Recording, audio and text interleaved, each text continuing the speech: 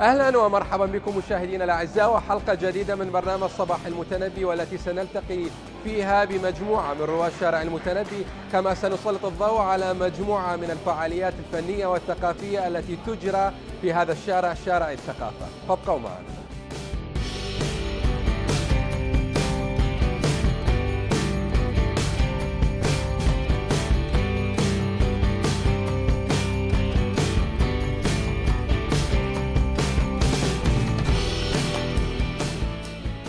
احبتي المشاهدين نلتقي بالأستاذ مخلف الشريده أهلا ومرحبا بك أستاذ مخلف أهلا وسهلا شكرا جزيلا واهلا ومرحبا بك وأشكر قناة المدى التي أتاحت لي هذه الفرصة للتحدث عن موضوع قد يكون جديدا على الفكر العراقي والشارع العراقي العلمي. أستاذ مخلف ماذا يمثل لك شارع المتنبي؟ شارع المتنبي كما وصفه الكثير قبلي هو المتنفس الوحيد والرئيسي للمثقف العراقي والأديب والكاتب والباحث والروائي وكل من يسير في طريق الثقافة والعلم وهذه الميادين نعم هل نستطيع أن نعتبر شارع المتنبي أحد المصادر المهمة آه، لرواد العلم وطالبي المعرفة؟ بالتأكيد وأنا كتبت في أحد مواضيع التي كتبتها ونشرتها تمنيت أن يكون جام آه، شارع المتنبي هو الجامعة الأهلية الرئيسية الكبرى التي تحتضن جميع الكفاءات والنخب الثقافية والعلمية والأدبية والرواية. نعم أستاذ مخلف أنت صاحب نظرية اللاواقعية العلمية. نعم. حدثنا عن هذه النظرية. نعم نظرية اللاواقعية العلمية هي فكر جديد. هذا الفكر جديد أقول جديد وبالفعل هو جديد آه، لم يتطرق إليه أحد. نظرية اللاواقعية العلمية فكر جديد يستند على مجموعة براهين رياضية نعم. أي است... اعتمد على الرياضيات وعلى العلم فهو فكر جديد يستند على مجموعة براهين رياضية هذه البراهين الرياضية وهذا العلم يعالج الجانب الواقعي من النش... اللاواقعي من النشاط المعرفي النظري والعملي للإنسان أنت تعرف أنه الإنسان يعيش في واقع وهذا نعم. الواقع هو جزء من الوجود. ولكن ليس الواقع هو الجزء الوحيد من الوجود. هناك أيضا جزء آخر يسمى اللاواقع. قد غاب عن الإنسان. هذا الغياب آه، له تأثير أيضا على المعرفة البشرية. ولذلك هذه النظرية تدعو إلى الاهتمام باللاواقع للاستفادة منه في الواقع. فإذا هي نظرية علمية تستند على مجموعة براهين رياضية تعالج الجانب الواقعي النظري والعملي لنشاط الإنسان في كافة الميادين العلمية والفلسفية والعقائدية أيضا والدينية وتعرف أن هذه الميادين الثلاثة يعني قد عانت من الافتراق والتباعد وربما إلى التنافس أو الإنكار نعم. يعني تعرف أنه الفلسفة أو أو العلماء لا يعترفون بعض العلماء لا يعترفون بالعقائد. وبعض العقائد لا تعترف ببعض العلوم أيضا. وكذلك مرة يسيرون في اتجاه واحد ومرة أخرى يتنافسون. ثلاثة ميادين مختلفة. نعم. ولكن ماذا أضافت نظرية اللاواقعيه العلمية؟ أضافت شيء جديد إلى المعرفة البشرية. إذا أخذنا هذه الميادين الثلاثة الميدان العلمي والميدان الفلسفي والميدان العقائدي لكل ميدان هو آه، له مختبر وله نعم. جانب للتجربة والاختبار. فنرى أن الجانب العلمي أو الميدان العلمي مختبره التجريب. يعني أي أي موضوع علمي يؤخذ إلى المختبر ويعرف هل هذا الموضوع صحيح أو خاطئ. نعم. إذا المختبر أو التجريب هو المختبر الذي يبين الحقائق العلمية. الميدان العلمي ومختبر الميدان العلمي التجريب له جانبان جانب نظري وجانب عملي تطبيقي. نعم. يعني النظريات العلمية أو العلم والأبحاث العلمية تصل إلى مواضيع ممكن هذه المواضيع تطبقها. قبل التطبيق تبدأ بالمختبر تجرب هذه المواضيع في المختبر. هل هي صحيحة؟ فإذا صحيحة تذهب إلى الحياة وتصدر إلى الحياة وممكن يستفاد منها الإنسان. في الميادين الصناعية والزراعية وغيرها من نعم. الموضوعات التقنية. الجانب الآخر جانب نظري يعني الميدان العلمي يفرز جانبين جانب تطبيقي وجانب علمي الميدان العلمي وجانب نظري العفو. الجانب النظري يعتمد اعتماد كلي على الرياضيات هو جانب علمي نظري نعم. ليس تطبيقي. إذا هذا يطور العلم نفسه يطور الميدان العلمي. في الفلسفة الميدان الفلسفي المختبر مختبر الميدان الفلسفي هو المنطق. نعم. يعني أنت كيف ت- يعني تختبر موضوعة فلسفية أو فكرة فلسفية؟ تختبرها بالمنطق. هل هي نعم. صحيحة أو خطأ؟ كذلك العقائد. العقائد بما تختبر العقائد أنت؟ تختبر العقائد بمختبر أيضا ويسمى الفقه. إذا الفقه مختبر العقائد والمنطق مختبر الفلسفة. نعم. هذين المختبرين لا يمكن أو لم يستعمل التجريب فيهما. نظرية اللاواقعية العلمية أخذت الرياضيات العلمية نعم. في الميدان العلمي المختبر العلمي وطورتها إلى رياضيات لا واقعية رياضيات لا واقعية هذه الرياضيات اللاواقعية هي حكر على نظرية اللا عفوا. حكر على نظرية اللاواقعية العلمية. نعم. نظرية اللاواقعية العلمية أوجدت الرياضيات اللاواقعية. هذه الرياضيات اللاواقعية استخدمتها في المنطق وفي العقائد. إذا اليوم حسب نظرية اللاواقعية العلمية أي موضوع فلسفي ممكن أن نحوله إلى موضوع علمي رياضي ونختبره بواسطة الهندسة وبواسطة ال- الرياضيات المجردة. لنتمكن هل هذا الموضوع صحيح أو هل هذا الموضوع خاطئ. كذلك نقلت نظرية اللاواقعية العلمية. هذا الجانب إلى الجانب الديني أو العقائدي. نعم. يعني أيضا في المواضيع الدينية ممكن أن تكون مختبر ويمكن أن تطبق عليها الرياضيات ويعرف الباحث هل هذا الموضوع خاطئ أو صحيح. إذا أنت تختبر النظريات الفكرية من خلال الأرقام والرياضيات. إذا الرياضيات أصبحت هي كما يستخدم العلم الرياضيات نعم. في معرفة الصح والخطأ لأبحاثه أيضا الفلسفة أصبحت الآن على ضوء هذا الموضوع أنه تستخدم الرياضيات لمعرفة الصح والخطأ في المبادئ الفلسفية وكذلك الدين يعني نعم. الدين ليس غريبا أن, أن لا يمكن أن نبحثه ونعرف دقته من صحته نعم نظرية اللاواقعية العلمية حتى أكون صادق برهنت على العديد من المق... من الآيات القرآنية الكريمة وأثبتت صحتها رياضيا نعم يعني العديد من الرياضيات ليش؟ لأنه القرآن الكريم هو فيه جوانب رياضية. مثلا الله سبحانه وتعالى يقول خلق السماوات والأرض في ستة أيام. السماوات والأرض هي سبع أكوان والكون ال- شو اسمه؟ هاي ثمانية أكوان. نعم. وخلقت في ستة أيام. إذا هذا جانب رياضي. إذا استطعنا أن نحول هذا إلى فقه ومن الفقه إلى منطق ومن المنطق إلى تجريب والتجريب هو الجانب الرئيسي. ال ال نعم. الاختباري هو الرياضيات. فممكن أن تحول وتم تحويله. وأيضا صدرت في هذا الموضوع الرياضيات اللاواقعية ونظرية اللاواقعية العلمية بين المنطق الرياضي والقرآن الكريم وهذا الكتاب منشور أيضا. نعم كيف كان تفاعل الأوساط العلمية في العراق مع نظريته؟ صح. الأوساط العلمية حقيقة يعني وهذا السؤال هو كان بودي أن أطرحه وأنت تفضلت بطرحه. ليست هناك كلية أو جامعة علمية في العراق ما استلمت من هذا من هذه الكتب. نعم.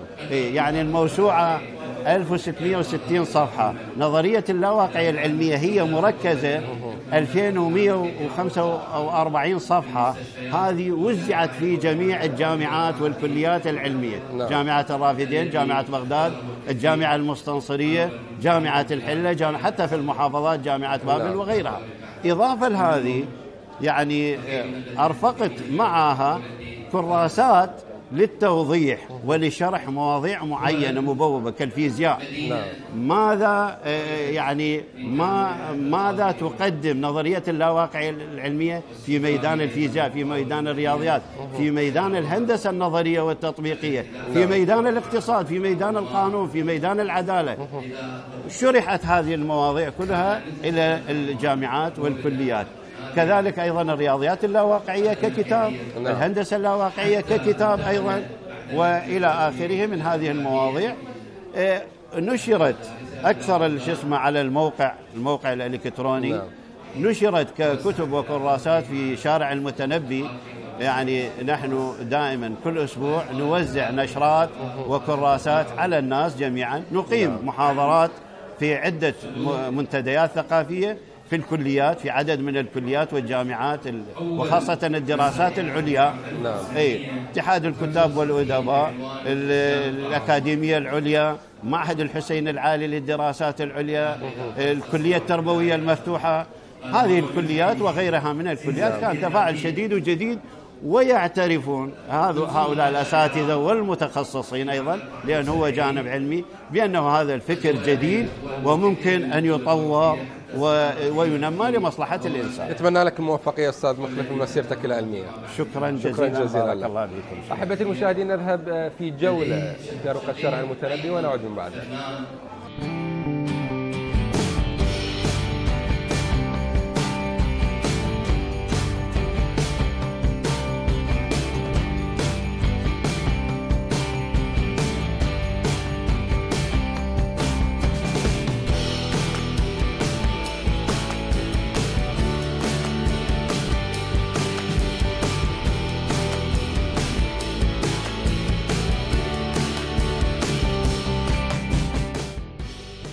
احبتي المشاهدين نلتقي الآن بالدكتور طارق فتحي مدير نادي القصة القصيرة في صوفيا. أهلا ومرحبا بك دكتور. أهلا وسهلا. دكتور كيف وجدت شارع المتنبي اليوم؟ طبعا أنا ولادتي في بغداد نعم. من الأصل. ومن الستينات نحن راجع آه، شارع المتنبي. وكانت هناك أسماء لامعة لمؤلفين مصريين. وكانت أيضا هناك روايات القصص العالمية. أمثال فيكتور هيجو ارنست هيمنغواي وغيرهم. ومن المؤلفين المصريين كان اشهرهم نجيب محفوظ. نعم. فكنا بعدنا شباب يعني مرحلة الإعدادية. نقرأ لهؤلاء. فصارت عندنا فكرة عن الأدب الموجود بالوطن العربي. للأسف ما كان أكو أسماء لامعة أو بارزة في مجال الأدب بالستينات يتفقه به الشباب ذاك الوقت. نعم. فكان كل جل اهتمامنا نتابع الإصدارات الجديدة لمؤلفينا. بدأ شارع المتنبي يزهو. فتعرفنا على صبري القباني شاعر لبناني تعرفنا على نجيب محفوظ العقاد وغيرهم والشاعر الكبير أحمد شوقي. فكان عندنا شعراء قلة يعني يعدون على أصابع اليد الواحدة. فهذا الأمر كان تثقيف الشباب نحو الأدب ما يجدوها لا بمجتمعاتهم العائلية ولا بال المناهج التدريسية يجدوها بشارع المتنبي. فالثقافة تجي ذاتية من نفس الشاب نعم. يعني أكو فد حسد أو غيره محمودة وليس مذمومة. إنه فلان يقرأ نعم. أو فلان معجب بشاعرنا الكبير الجواهري. فيحاول هو على قدر طاقته. يعني ما في موجه أو معلم نعم. يخليه يسلك الطريق الصحيح مثل كان يتعلم اللغة العربية شوية مفرداتها نعم. شوية نحو صرف إعراب حتى يوزن الكلمة قبل ما فكان تايه بين الحروف. وأغلب ما يكون يركب جمل معقدة. هاي في حقبة الستينيات اليوم كيف وجدت الأجواء في شارع المتنبي؟ أنا قبل سبع سنوات ثمان سنوات زرت شارع المتنبي. نعم. واليوم أيضا زر شارع المتنبي. أنت مغترب خارج العراق. مغترب نعم. نعم. أنا مقيم في صوفيا في بلغاريا. اكو فد يعني اعتبر شارع المتنبي في روح جديدة حلت عليه. يعني قبل سبع سنوات أو ثمان سنوات ما كان هذا شارع المتنبي نعم. نوعية الكتب واحدة كانت يغلب عليها الطابع الديني. آه ما في حماسة للشعر للأدب نعم. للفن التشكيلي مثلا فنون مسرحية قليلة. تجد هذه كتب مهملة. فخرجت من المكتبات واخذتها حتى على ارصفه نعم. وبالارصفه أيضا ما حد قلبها. اليوم فالتنوع جدا رهيب.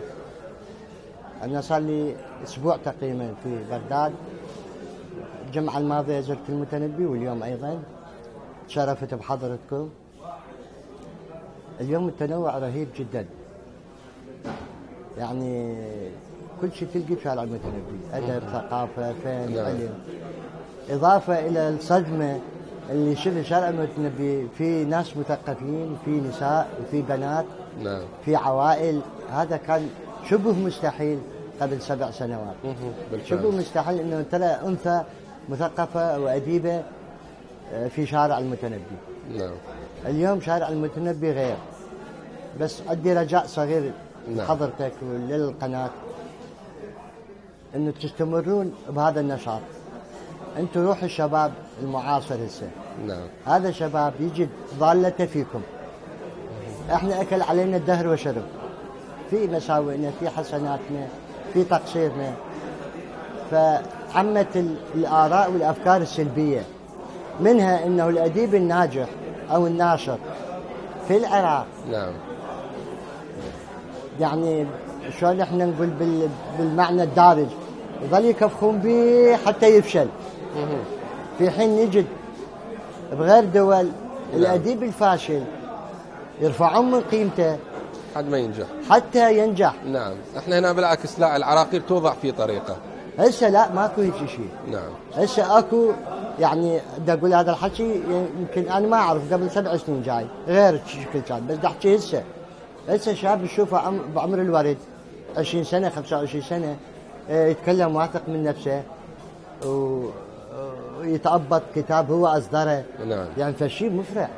قبل إحنا كان عندنا حلم. حلم نصدر كتاب أنا أول كتاب ظهر لي أنا عمري 55 سنة. نعم. نشوف شباب هسه أشوف شباب عمره 23 24 عنده كتاب. أخواته اما شعر أم يعني أنا أقول لك على قدر الحال. نعم. بس هذا فشي يعني يعتبر خرافي يعني بالنسبة يعتبر إنجاز. بحد ذاته. نعم نعم, نعم. شارع المتنبي دا يبث روح إن استمر عليه. فاعتقد جازما كل الخير راح نجده بالشباب العراقي امثالكم بالتأكيد. حدثنا عن نادي القصة القصيرة. نادي القصة القصيرة أنا مؤسس للنادي. وإدارة النادي محصورة بي وبعض المؤسسين معي دكاترة أيضا متبرعين طبعا. فهدف النادي ومن شروطه للشباب الواعدين. نعم.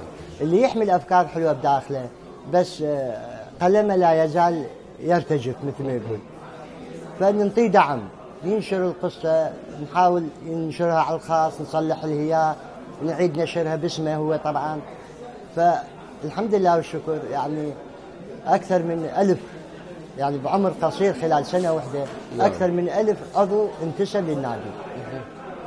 ومنهم يعني ناس كبار معروفين حتى بشارع المتنبي التقيت فيهم الجمعة اللي فاتت وهالجمعة إن شاء الله. منهم من انتشر عربيا. نعم. وأكو مجلات ودوريات قامت تنشر لهم ومنهم من أصدر كتب. آه، وضفنا للنادي عدد قصة الخواطر.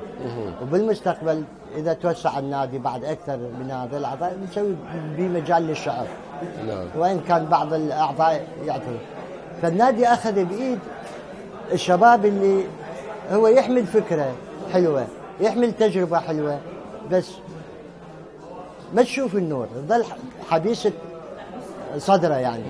هسه قام الناس يعني أنا عندي 5000 بالصفحة. ولما يشوفون قصص غريبة وإن كان الأسلوب ما يرقى إلى أسلوب الأدب الراقي ولكن كتشجيع شاب أول مرة يكتب. نعم. أول مرة يكتب. من محاسن الصدف يعني هسه أذكر بروفيسور إنجليزي آه، اطلع مصادفة يعني على نادي القصة. فطلب هو بروفيسور بعلم النفس السلوكي نعم. بلندن طلب آه، عشر قاصين. كل قاص ما لا يقل عن 25 قصة لدراستها نفسيا هو ومجموعة. جميل هذا جدا. تطوع ومجانا. نعم. وتم رفع يعني قبل شهر تم رفع خمس أسماء من النشطين بالنادي اللي دراستهم سيكولوجيا ونفسيا. نعم. هاي الدراسات ما كنا يعني نفكر بها أو نتجه لها أو نعلم بها حتى. نعم. فالعالم واسع كلش كذلك الثقافة واسعة. فالشاب من يشوف نفسه عنده ثقة إنه مثلا أنا عضو بالنادي الفلاني. فلما أنا عندي نقاد عندي ادباء عندي ما شاء الله كل شيء يعني. وعندي شعراء شعبيين كبار يشار لهم بالبنان الناظم السماوي. آه عريان السيد خلف وغيرهم طبعا. فهاي الدراسة إذا اكتملت هم اعطاني موعد محدد يعني ثلاثة أشهر. إذا تج- تجي تصير غير شكل شغله بالتأكيد. راح تصير آه، استدعاء لذول لندن على حساب المؤسسة. نعم. لدراسة النفسية وسلوكيه القصة العراقية. هذه لفتة وإن كانت ما محسوبة يعني مو بالحسبان. نعم. إنما جاءت مصادفة. قد يجوز تفتح الباب الغير شغله بالتأكيد. تشجع الناس تشجع ال- ال- الاستفادة من مراكز التواصل الاجتماعي بشكل مثمر وجيد. آه، يخدم الشباب. أنا أركز على الشباب بدرجة أولى. نعم. لأن الشباب لما يكبر هو بهذه الثقة ولما يجي يزهو ويتبختر بشارع المتنبي اللي هو يعتبر بيته الحقيقي فما يعني يقف قدامه أي عائق في أن يقدم أو يبدع لنفسه وللآخرين بالفعل وهذا الإبداع كله وين يصب؟ يصب بالعراق. فأنا أشوف حركة نهوض سريعة وأكثر من ايده أكو ممدودة دا ينهض شارع المتنبي نعم. نحو الأفضل نحو الأحسن. فشارع المتنبي حقيقة يعني هو تاريخنا. وتاريخ كل العراقيين. وتاريخ كل المثقفين العراقيين. نعم. دكتور نتمنى لك المزيد من النجاح والموفقية. الله يبارك فيك. وأيضا نتمنى المزيد من الانتشار لنادي القصة القصيرة. إن شاء الله. شكرا جزيلا إن شاء الله. نتواصل. قد ما يتم آه، إن شاء الله تجي الدراسة راح يطبعوا لنا بها كتب نعم. ونديكم للمدى إن شاء الله. إن شاء الله. أحد الكتب. شكرا لك يا دكتور أحبتي المشاهدين جولة أخرى نأخذكم فيها في شارع المتنبي ونعود من بعد ذلك.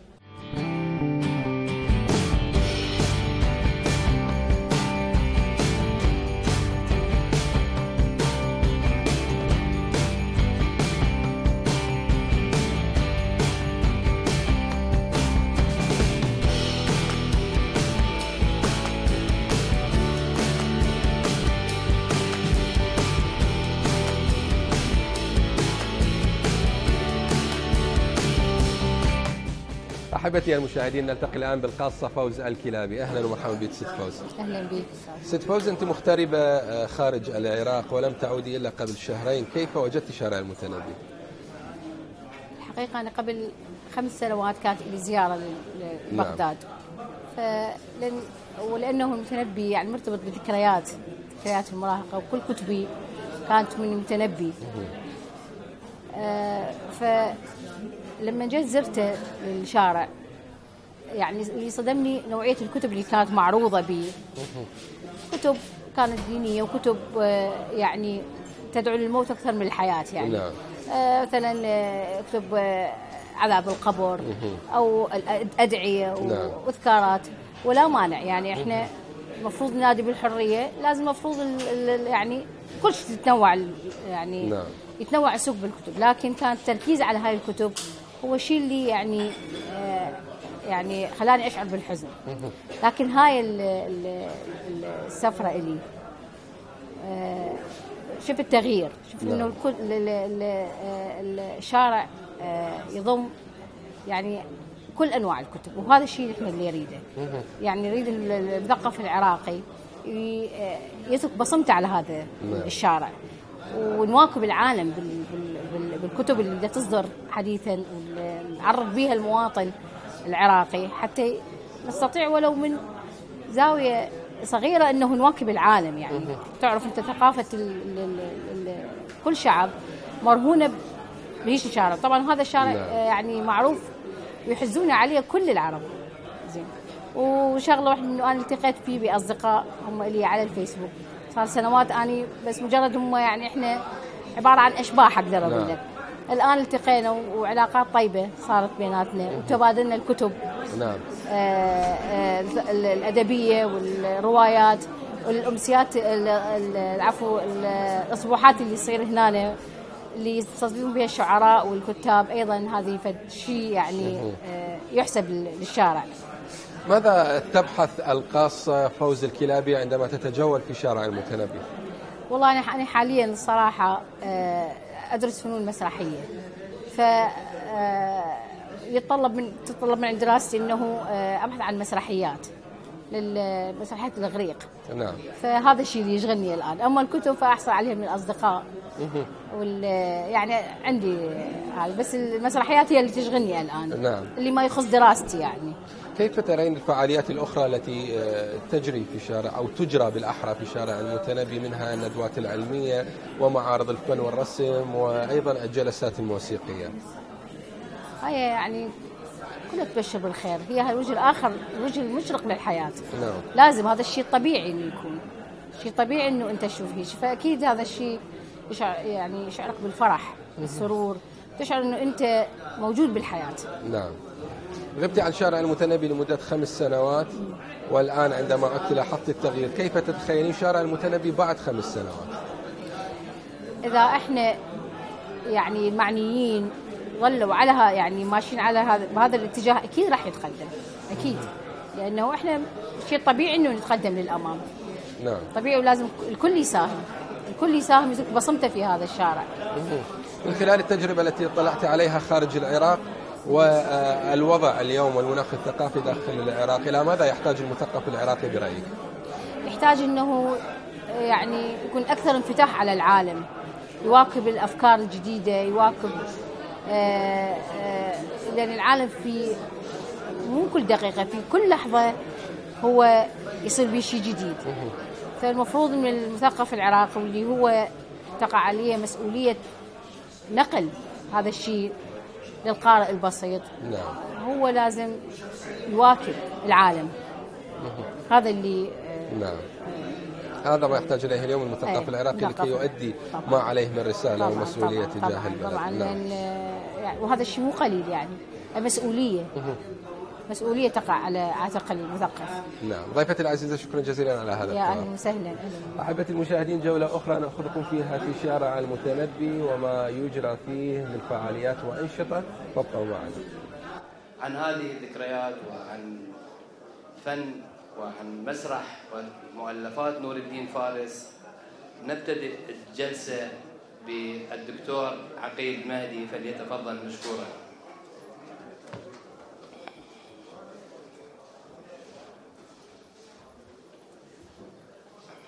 أشكر الأستاذ مقدم هذه الجلسة حضور الكريم. يشرفني أن أتحدث عن واحد من ألمع كتاب النص الدرامي في العراق نور الدين فارس. إحنا كنا طلاب بال 68 فكان استاذنا بدرس التمثيل أستاذ جعفر السعدي كان الشيء الشائع يتحدثون عن مسرحية اسمها جار الطاعون اللي اشتغلها واخرجها الاستاذ جعفر. فكان الجو بعد يعني بنفس التألق عن هذا الصوت الجديد. الصوت اللي غاير مال يحيى قاف العبد الواحد مهدي البصير. هاي المسرحيات الاجتماعية اللي كانت آه، أجمل تجلي لها في زمن يوسف العاني اللي يتناول الأسرة وعلاقاتها ال- الاجتماعية والإنسان البسيط المسحوق. كانت ثلاث اتجاهات يسارية في المسرح إن صح التعبير عن ذلك. كانت فرقة المسرح الحديث اللي بيها أساتذة كبار يمتلكون الرصانة والتجربة والخبرة والاطلاع على مجتمعات أمريكية وإنجليزية وروسية. ففيها عمق كبير عندما تقدم مسرحيات محلية. والاتجاه الثاني كان يمثله جعفر السعدي في فرقة المسرح اليوم الشعبي. كان الأستاذ جعفر وأنا انتميت أيضا لهذه الفرقة يتناول بشكل كبير الجوانب الأخلاقية في الم- في المجتمع وفي المسرحية الاجتماعية. وكان فيها نوع من ال- الموازنة.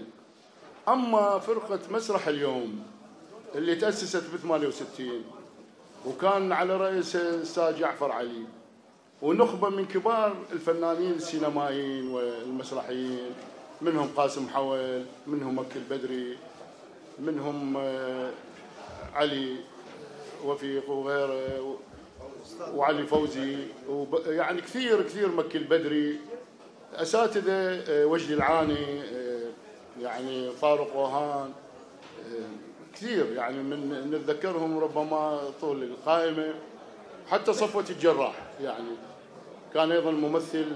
هؤلاء يبدو والقليتشي أيضا نديب القليتشي اللي كان بشكل علني يمزج بين الملحقية الثقافية السوفيتية.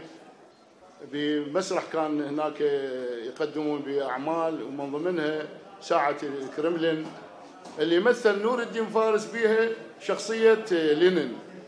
وبذاك الوقت تصوروا باتجاه يعني كانوا هم نقول عليهم المد الثوري الحاسم الصادم المتطرف في هذه الاتجاهات اليسارية المعروفة في المسرح العراقي. طبعا إحنا شفنا يعني وسمعنا عن مسرحيات عديدة من هالبيت الجديد يعني من الأعمال الكبيرة وربما كان عبد الوهاب الدايني آخر عمل اشتغل اللي هي مال في العروس في المزاد. اللي مثلته سعدية الزيدي. وهي تتلفظ بألفاظ كنا نحسب ألف حساب لها يعني في المسرحيات عند يوسف العاني وعند الآخرين. يعني تقول له مثلا في التلفزيون لفظة شعبية لأنه هو يريد يطلع حقائق. واقعية عن طبيعة العلاقة بين الرجل والمرأة. فحتى بالإعلان تتبروز تقول له امشي ابن الزفرة. يعني فد مسألة هو كان مثل ما يقول جواد علي طاهر علي جواد طاهر يقول إنها يعني هذه الدورة اللي تخرج من دار المعلمين العالية بها نور الدين فارس كانت تضم السياب وتضم نازك وربما لميعة وغيرها من المتخرجين في هذا المعهد التربوي الكبير. أيضا هو استكمل دراسته في المسائي كان هناك درس الإخراج والتمثيل التخصص يعني وهو يختلف من سواه لأنه يمتلك العدة الأدبية الدراميه يعني البعض جاء يكتب نص ولكن هذا النص ليس فيه نواة أدبية جمالية فلسفية مولدة. إنما عبارة عن نثار انطباعي هنا وهناك. ولهذا هو تميز وهو كان قري. الشيء اللي أريد أضيفه لأن أنا ما أريد أقرأ في أوراق رغم أنه أنا كاتب عن إن شاء الله يطلع في كتاب جديد عن تجربته. ففي بلغاريا التقيت هذا الرجل.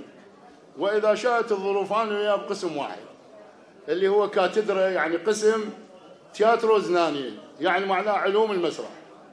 زين انت تعال جاي صغير 15 سنة بيني وبينه فرق. وقعدت أنا وياه كان المشرف عليه فلاديمير تنف بروفيسور من أرقى الأساتذة في بلغاريا. فكنا الثنية نحن نجتمع مع هذا البروفيسور. نور الدين فارس كان متقدم في الكتابة وأنا بعدني لأول مرة يعني ألتحق بالمعهد. فكان الغيظ مستشاط بروفيسور تنف ويتحدث بكلام يعني حيل بحرص طبعا إنه يريد من نور الدين فارس أن يكتب بطريقة هو كما يريدها بال ونور الدين فارس عنده استقلالية بالرأي.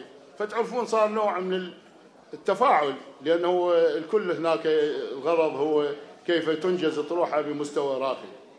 ومن جملة المشكلات اللي حتى كان يوشف أستاذي هم بروفيسور كان يقول لي المشكلة عند نور الدين فارس وأستاذة تنف أنه يريد يكتب عن نفسه. فشلون يصير يكتب عن نفسه؟ إحنا عندنا امام بحث علمي أكاديمي.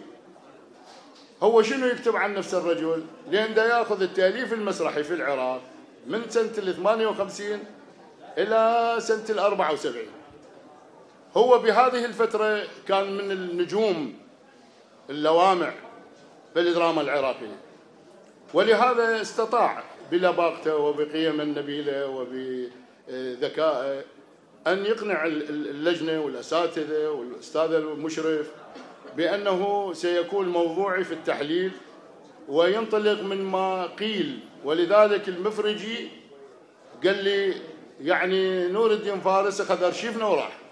ويمكن الاستاذ علي حسين آه، كان موجود في الأرشيف مع المفرجي. فأنا كنت راجع وراها بسنتين قلت له يا بد انطيني أرشيف مسرحنا لأن أنا شلون راح أكتب يعني عن المسرح العراقي؟ وارشيف ماكو يعني. فقال لي نور الدين فارس اخذها وما من هالكلام. أستاذ نور الدين فارس المسألة الأخيرة حتى لا اطل عليكم لأن هو ذو شجون. ونتشرف أن يكون أساتذة موجودين ومن ضمنهم الاستاذ منعم العزيز المبدع أيضا والتقدمي. فضمن هذا الجانب التقدم الكبير آه، اجينا للعراق. كانت أستاذة اسمها سنجينا بانوفا هذه من المنظرات الكبيرات يعني. وهي تذكرني بزينب بشكلها بصوتها بوضعها. لكنها هي ناقدة كبيرة يعني مو ممثلة. فمألفة كتاب وامتحنا أنا ونور قبلي بسنوات بهذا الكتاب. اسمه نظرية الدراما. فأجيت هنا بالعراق ورا سنوات يمكن أكثر من 25 سنة. وإذا دار الشؤون الثقافية بالعراق يحيلوا لي كتاب نبشوه بالأرشيف ماكو الكتب الممنوعة السابقة. فواحد من بيناتين هذا اسمه نظرية الدراما مترجم.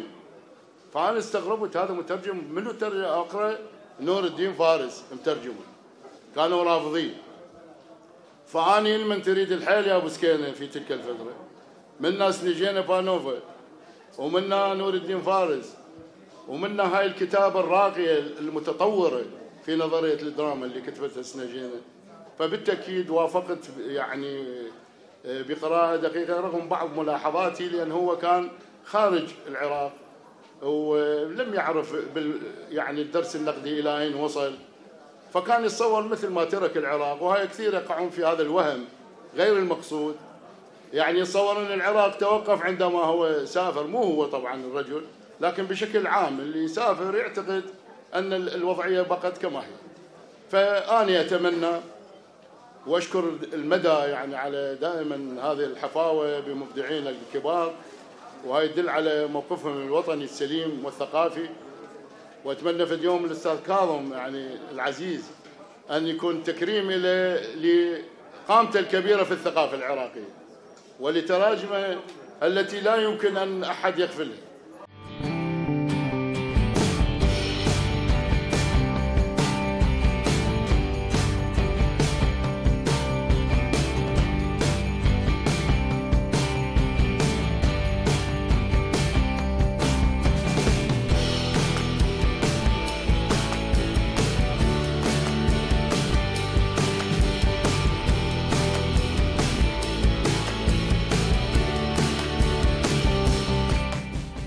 احبتي المشاهدين نلتقي الآن بالاعلامي الدكتور مجيد السامرائي. أهلا ومرحبا بك دكتور. أهلا بك. دكتور كيف ترى المناخ الثقافي اليوم في شارع المتنبي؟ اليوم تحديدا. أقصد في هذه الفترة. يعني اليوم هنا تعبير مجازي بالتأكيد. آه. هو م- يعني أتمنى أنه كما يقول أهل أهل الجنوب لا تكون هاي فرة عروس. يعني مثلا نعم. يوم الجمعة وبعدين السبت خلاص. يعني هي من الجمعة في بغداد من عجائب الإسلام الأربع. وكان أي في الزمان يعني أيام زماناتنا إحنا في الشباب كان سوق الهرج عفوا سوق الغزل أيضا سوق الهرج أيضا. نعم. بي يعني احتفالية استثنائيه و... والناس تتجمع بس آه، أنا كملت دكتوراه مصادري كلها من ال... من المتنبي. كنا مرور يعني يوميا نمر من هذا الشارع نقطعه هو ما بي كيلو متر ما بي أقل. نعم. بس اليوم صار معرف اتفاق يعني تعاقدوا الناس على إنه يتفقون دون سابق انذار إنه يجون يوم الجمعة. فهي الجمعه الجمعة إحنا عندنا بالمثل يقول الجمعة جماعة والسبت مطار. فاليوم كان اليوم مطر كان ومع هذا أنا قلت ما راح ألاقي حد بالشارع. بس آه، صراحة شيء مدهش. يعني يا ريت بغداد كلها هيك. نعم. بس ما أظن يمكن يكون مول المنصور. أنا جاي زيارة لبغداد. يعني بالسنة مرتين بس حلو. والحلو دائما يخلص يخلص بسرعة. نعم. والحلوة تتزوج. لكن المتنبي باقي عشرات السنين معلش ما هو إحنا- عمره الآن أكثر من آه. 70 سنة أو 80 سنة. يعني مو هي. المشكلة إنه إن شاء الله يكون على مدى الأسبوع. نعم. أما يوم واحد حرام. يعني إنه واحد يجمع حاصل الأسبوع كله نعم. حتى يجون. أكو شيء يعني مثلا في شعراء غير حقيقيين. موجودين. آه، مطربين غير حقيقيين موجودين عازفين نعم. غير حقيقيين موجودين.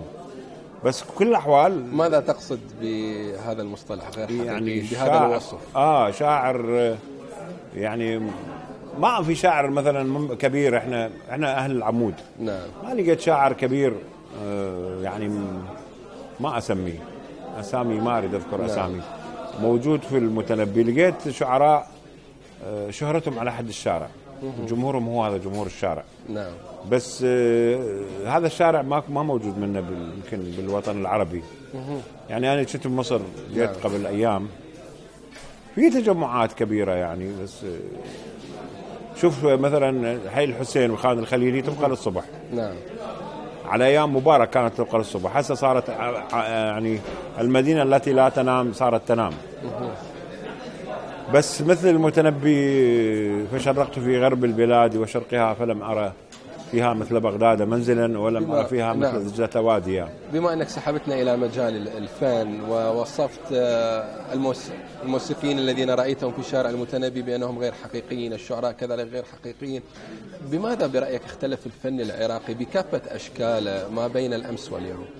هو شوف دائما هم الشعراء غير الحقيقيين والفنانين غير الحقيقيين هم اللي باقيين يريد يثبت وجوده. نعم. يريد يثبت وجوده وقد يسعى إلى إثبات وجوده يبقى معاند. هو عنيد يعني. يعني هذا الشاعر غير مو غير الحقيقي غير قصدي حتى لو صدر له ديوان نعم. دار دار أهلية غير معترف بها غير موثقة بال- بالمكتبة الوطنية. فهو فعلا يعني هم قلت المصلاوي خلف الله علينا. يعني سوى جهد اللي عليه نعم. وحاول يوصل صوته. بس قصدي إنه الشعراء المربديين إحنا المربد عندنا اليوم في البصرة صار اليوم حتى البارحة انعقد يعني آه، شاعر آه، مسمى وله اعتبار ويدرس و واسمه في كتب المطالعة. ما تلاقيه في شارع المتنبي يقرأ قصائد بين للناس. نعم. بس دول الناس اللي يمسكون في ال- يعني يمسك فيك ويقول لك غصبا عليك تعال تسمع قصيدتي. وشو تسوي؟ له تصفق له. يعني في ناس اسمها تعزف بس وفق المواصفات الأكاديمية نعم. الكلاسيكية الموسيقية المدرسية يمكن غير معتبر بس كل الاحوال هو أيضا محاولة إثبات وجود تحدث عن الشعر وإذا ما تحدثنا عن الشعر لابد أن نتحدث عن الأغنية، كيف تجد الأغنية العراقية اليوم بمفرداتها؟ والله أكو أغنية ما اعرف هاي ماخذة باليوتيوب 52 مليون مشاهدة نعم. نسيت البارحة كان عندنا آه، جيراننا الفوقان الفوقان ذبحونا ورا ساعة واحدة بالليل يدقوها. نعم. دقوها ويدبشون وياها. أنا سمعتها بعمان. مه. سمعتها حتى بالمدارس يغنوها بالشوارع يغنوها بالأعراس يغنوها. ما أعرف نسيت اسمها. 52 مليون مشاهدة على اليوتيوب. فشي رقم خيالي. نعم. الأغنية العراقية هسه صارت بالخليج. هسه ب The Voice هسه آه، هسه كاظم أدرك إنه لازم أن يغني عراقي. مثلا مو يقول يقول آه، مثلا يحاول يتجنب ال ch نعم. قبل مثلا. زين. فهسه صار ال- ال- النغم العراقي مطلوب والحسجه وال... لكن اليوم خارج العراق وفي برامج المواهب والمسابقات النغم العراقي السبعيني والستيني وحتى الثمانيني هو الذي يبرز. لكن أين هي الأغاني الحديثة وجيل الشباب اليوم من تاريخ الموسيقى العراقية الرصين شوف لازم تطاطي راسك وتنخي العصر يعني انت مستحيل انه آه تقول هذا مثلا أغنية آه، بس بسميو نعم. أنا سامعها من موبايل سيدة أوكرانية. مه. زين هاي شو وصلها الأوكرانية؟ نعم. زين معناه إنه خلاص ما تقدر أنت تمنع آه، مد بالزور غصبا على عفوا على على عينك تمشي تمشي هاي الأغنية. بس النغم السبعيني شوف على اللي قرأ. نعم. غنتها عليا. لو ما مغنيها صابر ومغنيتها صاله ما كان ما انتشرت مرة أخرى بالفعل. واخذها جورج. نعم. يعني قصدي إنه هسه الآن أكو موجة لاحياء أغاني فايز أحمد. نعم. زين. أغنية آه، عيون القلب. أو أغاني عبد المطلب. نعم. عبد المطلب. الآن في مصر أكو موجة لإعادتها يعني فالقصد إنه العصر يا- يا- يأخذ حقه منك لكن دكتور مع وجود يا حريمة وعزاز ومرة ومرة وغيرها من هذه الأغاني الجميلة هل تستحق بس باسمية ومثيلاتها من هو- هو الوقت العصر- الحالي أن تمثل الأغنية يا العراقية في الخارج؟ العصر بلدوزر يسحقك ويسحق يعني يسحقنا يعني بس هاي الرومانسية اللي إحنا هسه ما نمتلكها السبعينات كان عصر ذهبي في العالم كله الستينات السبعينات عصر نعم. ذهبي في العالم كله في تطور الفنون مدارس الأدب الراقي. يعني هي هي شوف حتى اكتشاف الشرق اجى من بعد النيو كلاسيك الرومانتيكية اللي بديلاكروا اليوم والله لقيت طروحتي بالماجستير. لقيتها بالبيت ودا أقرأ يعني الحنين إلى الماضي الوله بالمنقرض يسمونه نعم. الوله بالمنقرض. في عندنا هسه العراق صار وله بالمنقرض. يعني الآن آه، بدنا نتذكر آه، حنوانه حن. مهم. جفنك جفن فراشه غض. وحجارة جفني ما غمض. غمض. قال تمشي بي ننبض حن خويا حن. نعم. روحي على روحك تنسحن. هاي حلوة بس تعال من يصفن لها لها هذا الجيل. بس الجيل هذا اليوم اللي هسه على ضفاف دجلة اللي إن شاء الله ما يظمأ. يقول بال ال- خليني أقول بيت شعر يقول إذا مات امرئ منا بالأرض ندفنه إن ماتت الأرض قل لي من يواريها. الله. يعني نعم. ان شاء الله دجلة ما يموت. يعني شوف إحنا الرافدان إذا جفوا ما في عراق. يسمونه بلاد الرافدين بلاد الواديين الجافين مثلا. بس هسه دجله حلو. شوف الدجلة وفي مثل مثلك يفيض بغير منيه زين؟ شفت موجاتها يا موجات مثل معاضده فضه شايف شلون؟ نعم. حلوة يعني. فأنا اليوم فرحان جدا يعني وسعيد جدا. سعيد أقول لك شيء يعني أنا قلت لهم مرة بعمان إحنا لما ينا تفريشنا نرجع للعراق لبغداد. تحس روحك طاووس جد يعني هسه الحمد لله يعني أنا بتصور إنه ما حد يعرفني. نعم. يعني اليوم حتى يعني وصلت بصعوبة ومشقة حتى أصل لكم. هذا شيء العراقيين يعني يبدو إنه غزر. الجميع يحاول يلتقي الصور معك اي غزر غزر. يسلم عليك. اللي سويناه غزر. نعم. اللي الحمد لله الحمد لله الحمد لله. I am proud مثل ما يقول الأمريكي I am proud that I'm negro. يعني أنا فخور لأني أسود. I am proud that I'm عراقي نعم. الحمد لله أنا فخور إني عراقي وفخور بيكم و... وأشكر صبر الأخوة اللي صار يعني كلش هواية تعبتهم حتى وصلت يمكم وصراحة يا ريت البلد يعني يا ريت العراق كله متنبي. إن شاء يا الله ريت العراق كله متنبي. وإحنا سعيدين جدا بهذا الحوار وشاكرين آه، لك جدا هاي الكلمات وهاي الدقائق اللي آه، خصصتها لنا. أنا هسه أشكرك جدا رجعت شاب 20 سنة لورا. طبعا إحنا. راح نستفيض أكثر آه، بالحوار أعزائنا المشاهدين عن واقع الأغنية العراقية ما بين الماضي والحاضر وكذلك الموسيقى العراقية. ضمن فقرة فهرست آه، مع زميلي آه، الزمن علي الذي يسلط الضوء اليوم على كلمات الأغنية العراقية ما بين الماضي والحاضر. أترككم مع زمن وأشكر مرة أخرى ضيفي العزيز الإعلامي الدكتور مجيد السمرائي شكرا لك دكتور. شكرا لك. أهلا ومرحبا بكم مشاهدي قناة المدى وفهرست.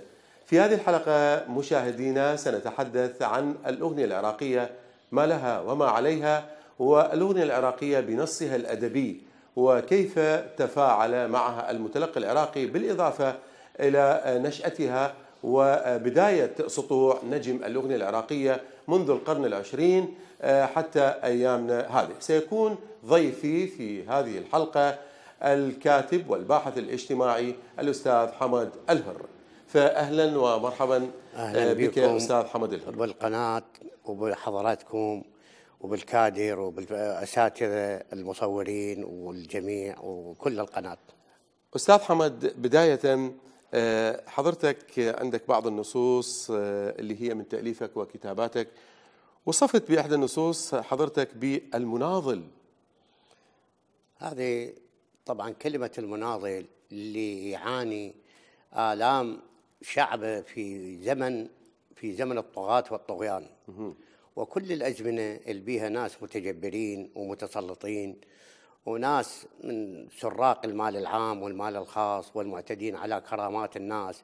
فتيجي هذا مني إنسان يوقف بوجه التيار يعتبر نف... مو هو يعتبر نفسه وإنما المجتمع يعتبره مناضل. وعندنا أمثلة على هذا مثلا هوشي منا قبل أن يحرر فيتنام ويصير فيتنام وفيتكو ما كانوا يسموه يسموه العم هوشي منه. مثلا جيبار الثائر. ما كان مثلا دكتور أستاذ دارس الطب أرجنتيني يروح يحرر كوبا وبعد كوبا يروح لغير مكان. هذا رجل أصبح الزمن ما ينساه فنضاله كان من هالنوع هذا. فنتأثر بهاي الشخصيات. وشخصيات كثيرة وكثيرة من هذول اللي كانوا في زمننا في زمن اللي إحنا على عمرنا شفناهم. من الشخصيات اللي أنطوا حياتهم في سبيل بلدهم وفي سبيل ناسهم وفي سبيل مجتمعاتهم.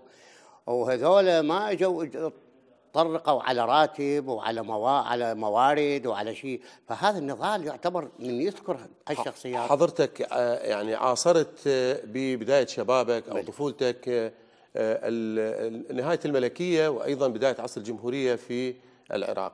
بلي. نهاية الملكية أنا شفت فيصل الثاني من إجا زار كربلاء لأن أنا من من أهل كربلاء. من إجا فيصل الثاني الله يرحمه والجيش داير مداير سيارته ويحيى الملك يحيى الملك. شفناه يعني الرجل. رجل مسالم وكان الملك رجل تشريفي يعني ما عنده في السلطة السلطة كان بيد رئيس الوزراء. وشفت الشخصية العريقة اللي اجى اللي يفتخر بها العراقيين وغير العراقيين شخصية الزعيم الخالد عبد الكريم قاسم. طيب ممتاز. آه، أستاذ حمد إحنا اليوم سيكون حديثنا بالتأكيد عن النص الأدبي آه، وليس التلحين. آه، طبعا يضاف له التلحين. ولكن تحدث عن النص الأدبي في الأغنية العراقية. منذ بدايات ال- القرن العشرين بدأ سطوع وبدأ هناك تسجيلات وهناك متابعين للأغنية العراقية. آه، كيف ترى تطور الأغنية العراقية بداية؟ هل هي في تصاعد أم انحدار؟ بالزمن السابق أستاذنا العزيز الزمن اللي كان ازدهار الأغنية العراقية وما قبل العشرين. يعني قبل العشرين قبل مجيء فيصل الأول الأغنية العراقية كانت لها ازدهار حسن خيوكة ورشيد القندرشي وشخصيات العراق اللي كانت هاي. وذولا كانوا مو مغنيين ذولا مطربين أي يطربون الآخرين يعني من يصعد يؤدي الكلام يؤديه بفن وبتل وبتلقائية ويكون مؤثر. إحنا في زمن يعني بالخمسين كنا نسمع حضير أبو عزيز الساعة عشرة الناس تترك أعمالها تسمع صوت حضير يا أبو عزيز. يعني الزمن ال- ال- اللي كان مزدهر بالأغنية العراقية وبالفن العراقي هو الزمن السابق. أما هسه الأغاني اللي إجت حتى الأغنية السبعينية. صحيح بها تطوير وبها كذا وبها لكن ماكو نسبة لها لما تجي على الثلاثينات وعلى العشرينيات. يعني المطربين كانوا غير شكل. جنابكم هسه تشوفون المطربين تشوفه كرئيس وزراء شكله. إذا معقل عقاله وقاطه ولباسه وملبسه وهندامه وإذا مطربه تشوفه في السيدة آه، جميلة. يعني إحنا شفنا سليمه مراد باشا الله يرحمه صديق الملاية عفيف اسكندر الله يرحمهم. هاي الشخصيات لمياء توفيق هاي الشخصيات ما تتكرر. يمكن واحد يقول إنه الأغاني قبل كانت بهذه الفخامة اللغوية وبهذا الاختيار الصحيح والدقة في الكلمة مو أي كلمة لأنه ممكن تخدش ذوق المجتمع. كانت لأنه المجتمع كان قوي المجتمع كان مثقف. المجتمع كان ما يتقبل مو بس الكلمة حتى كلام الشارع ما يتقبل إذا هو كلام مو موزون. حتى ال- ال- المقهى إذا قاعد بالمقهى والمستطرق إذا قال فرد كلام هو هذا اللي قاعد بالمقهى ما يتقبل منه يعني يشمئز منه. أما بالنسبة للطرب وللغناء بمعنى أكبر وأوسع لأنه هذا على مستوى عام المستوى العام يسمعه. بعدين الغناء من يسمع الشريحة المثقفة كانت تسمعه الوزراء الشخصيات أصحاب الدولة أرباب المعالي الأساتذة الدكاترة هذا عنده ذوق بالكلام. برأيك أستاذ حمد لو هذه الأغاني الآن آه، اشتغلوها وفق آه، ما كان يعمل سابقا به. يعني نفس اللحن ونفس الأداء ونفس المطربين ونفس الكلمات. هل ممكن تنجح يعني؟ هذا الجيل ما يقدر يجيد هذاك الجيل اللي بذاك الزمان. هذا الجيل اللي هسه دا يؤدي هلا إحنا مثلا بعيدا عن الإجادة هل يتقبلها المتلقي ولا المتلقي يتق- ولا هذا المجتمع ما يفتهم شو يقول. الأغنية كلها ترقص والشارع يرقص والموسيقى ترقص يعني تعاين حتى الأعمدة والش اسمه السيارة صاعده اللي فوق وهذا الطافر اللي جو هاي بالجنه هيك شيء ماكو يعني أستاذ تحسب الجنة اللي يقول حور وكذا وبأنهار كذا ماكو هلا قبل متلقي كان إذا أجى قاعد يشوف هذا المطرب كلمة إذا خدش الذوق العام المتلقي القاعد يقول له هاي شنو هاي شنو المنطق هذا؟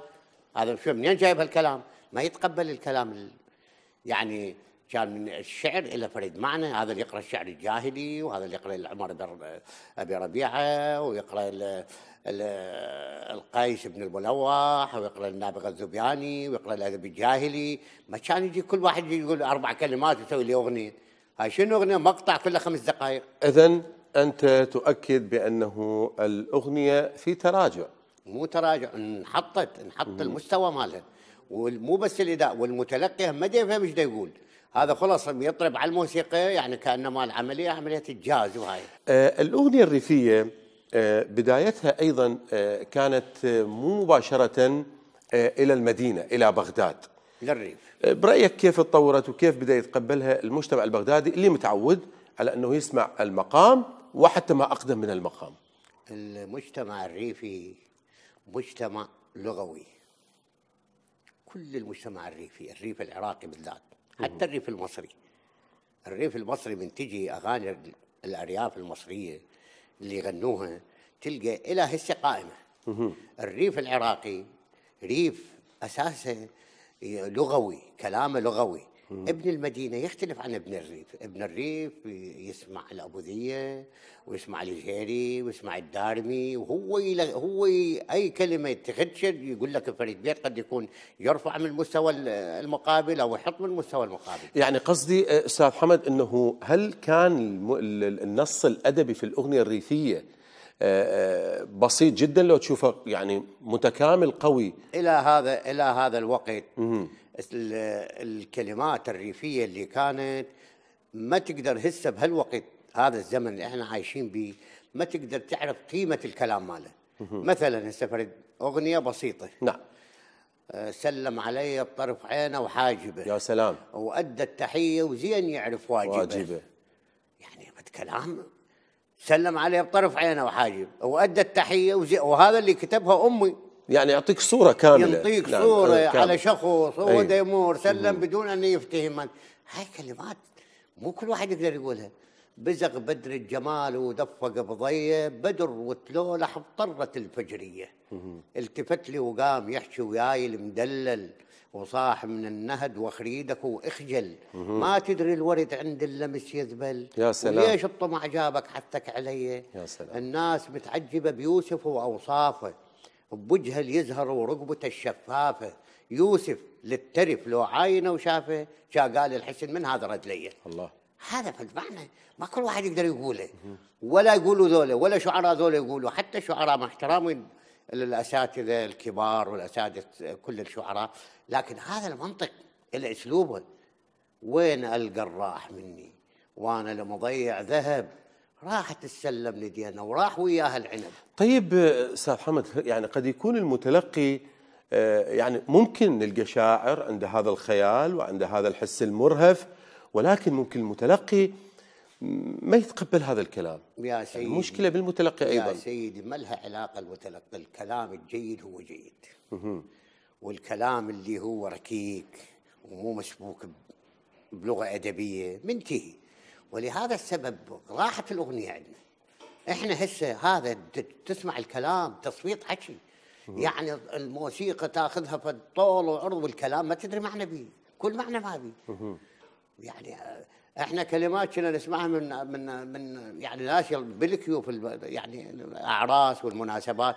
يقول كلمات إذا هو من القاعدين من القاعد اذا فت كلام قال له يقول لها شنو هالبايع هذا بيت قاله قام له واحد بقى قال له عمي لا تقرأ فشلتنا أنت.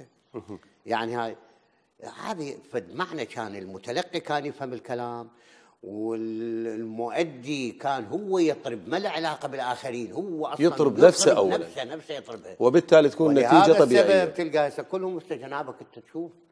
زهور حسين. الله يرحمه زهور حسين يعني أنت من يوم من شو يعني تجمد بامكانك يعني عفيف اسكندر الله يرحمها صديق الملاية. يقولون لكل زمن رجالا. دولة واحدة. فهل ما يعجب حمد الهر؟ آه، بالضرورة يعجب آه، من يعيش من الشباب اللي عمره قد يكون 18 20 والله يعني بالضرورة؟ بلي أستاذ أكو شباب مثل جنابكم تعرفون هذا إحنا مجتمع. والمجتمع ما متساوي لا لا بأفكاره ولا بآرائه. وأكو ناس شباب هسه اللي أنا اللي أشوف يعني اللي إحنا معاشريهم لا يزالون يتذوقون الكلمات القديمة والكريض والشعر الطويل. يعني جنابك إنت ما تسمع أغنية طويلة؟ ابدا. اتحيا يعني مو كان كل المجتمع يعني أنت تيجي مثلا إحنا اللي كان روحي الخماش الله يرحمه. يعني هذا ال- ال- الأندلسية اللي كانت يطلعون. يعني المعنى ماله رغم عزف العود وعزف كذا الناس كانت تطرب لهم أما هذا مجتمع وهذا الجيل التهى بعد الحياة تعبتها خلته م- منصهر ما يقدر يسمع شيء حتى. طيب الأغنية السبعينية إجت بعد آه، تجارب بالأغنية العراقية بعد آه، أنه جت الأغنية الريفية والمقام العراقي بدأ يتطور ويأخذ ألوان أخرى. آه، كان هناك لون جديد أطلق عليه الأغنية السبعينية وتعرف أنت من روادها. قد يكون سعد جابر حسين نعمة فاضل عواد بالإضافة إلى ياس خضر. هذا الأغنية السبعينية ما جاب شيء جديد. صحيح يعني ذن اللي أبدع به مثلا الشعراء اللي أدوا مثل الأستاذ الكبير مظفر النواب اللي غنوا له البنفسج وما بنفسج وزامل سعيد فتاح الله يرحمه اعزاز وما اعزاز وهذا حسين نعمة اللي غنى له جبار الغزي اللي مات مطر أستاذ وشاعر تالي يموت يم شريف وحداد بالشارع.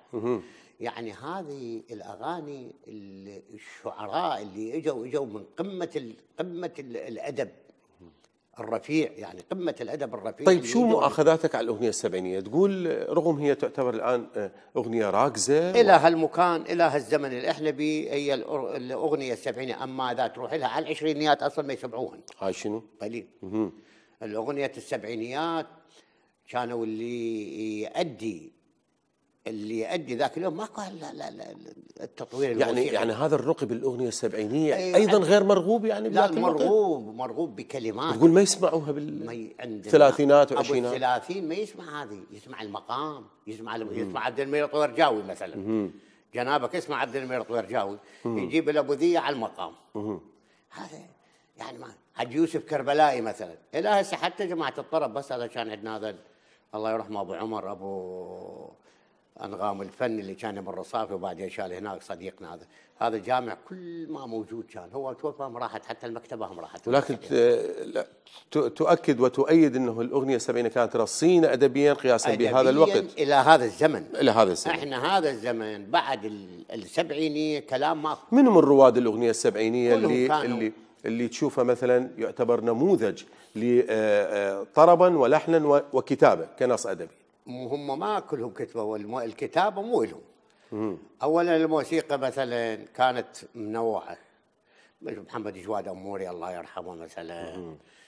طالب القرغلي ومحسن فرحان. يعني أساتذة هذول هذول إجوا أكاديميين.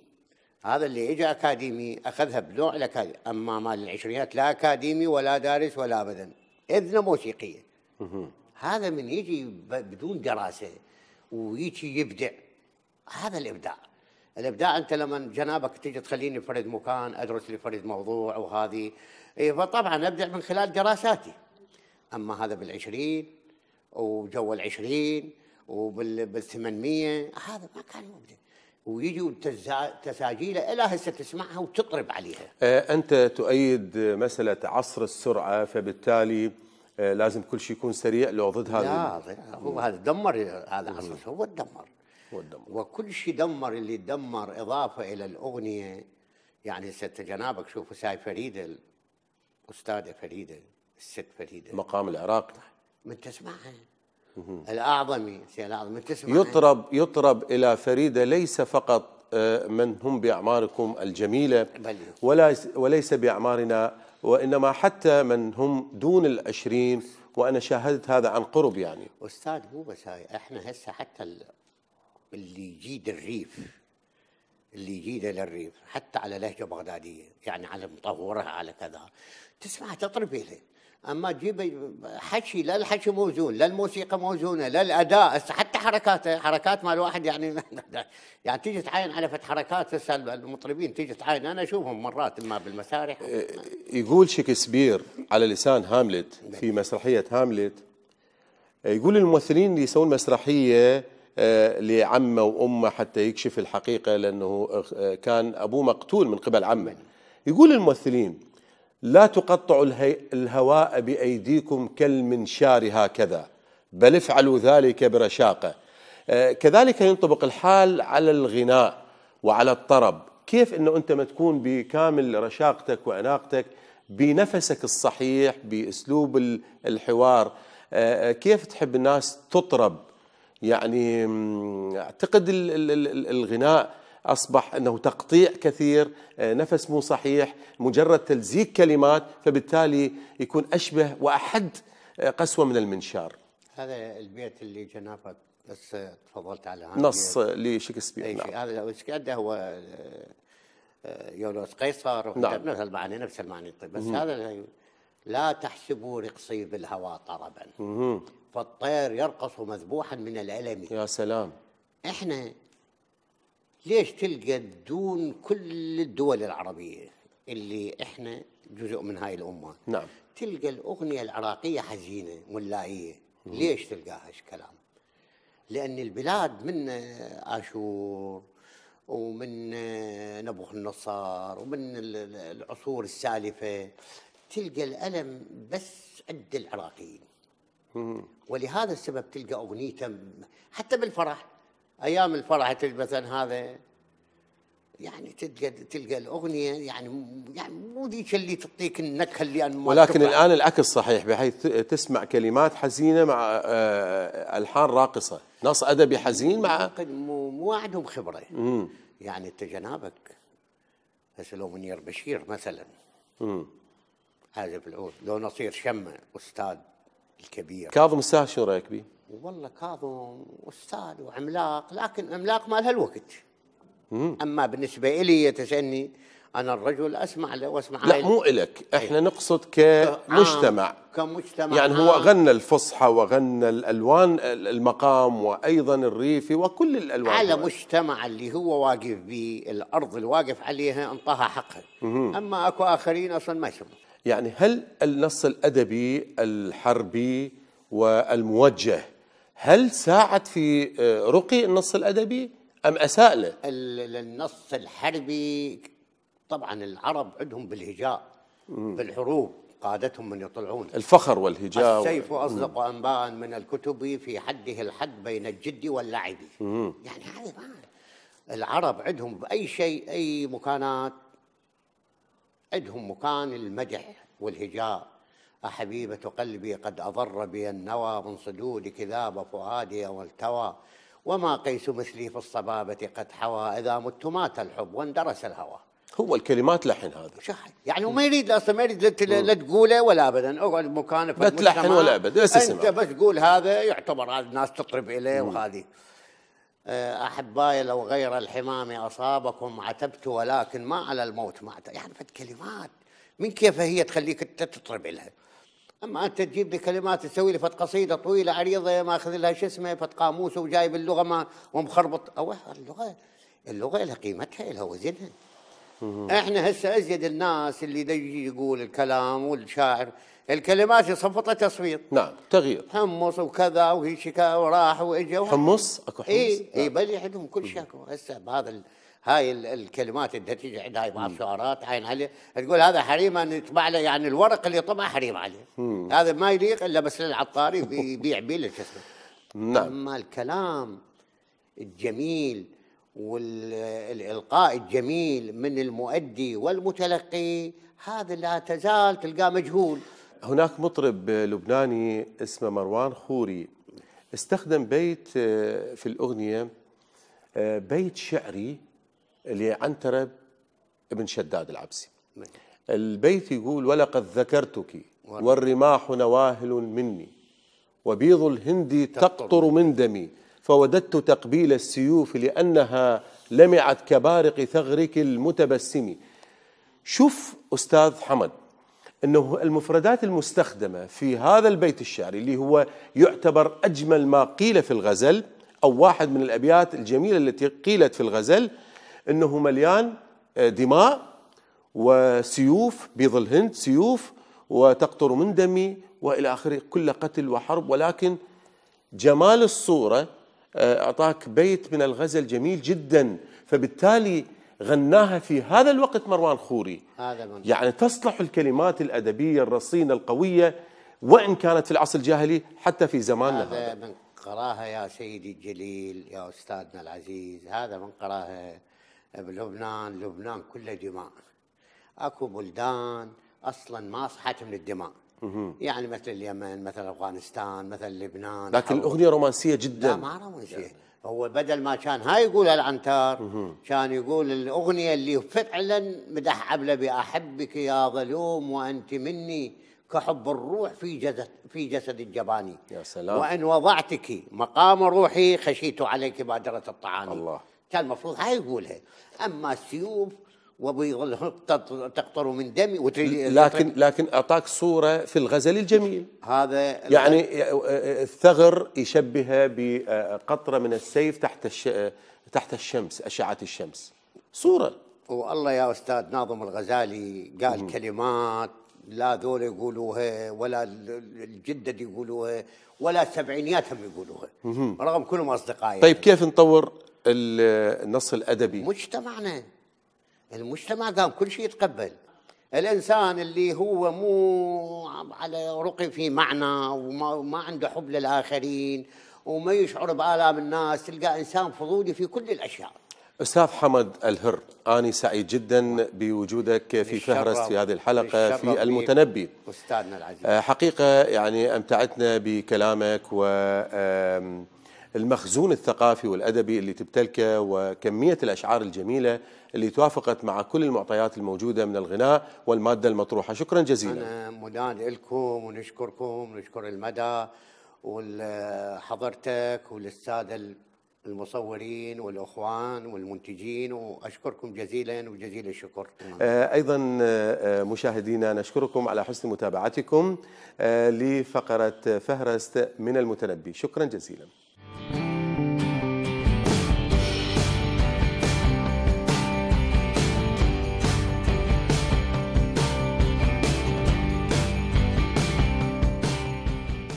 أحبتي حلقتنا لهذا الأسبوع انتهت ملتقانا يتجدد وإياكم الأسبوع المقبل إن شاء الله. دمتم وإلى اللقاء.